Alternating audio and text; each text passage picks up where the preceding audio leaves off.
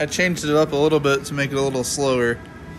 I took that shiv off and it would come along. Went back to the frame right there.